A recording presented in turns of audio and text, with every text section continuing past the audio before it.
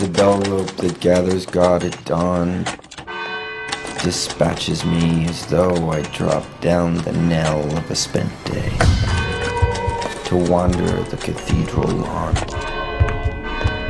from pit to crucifix, feet chill on steps from hell.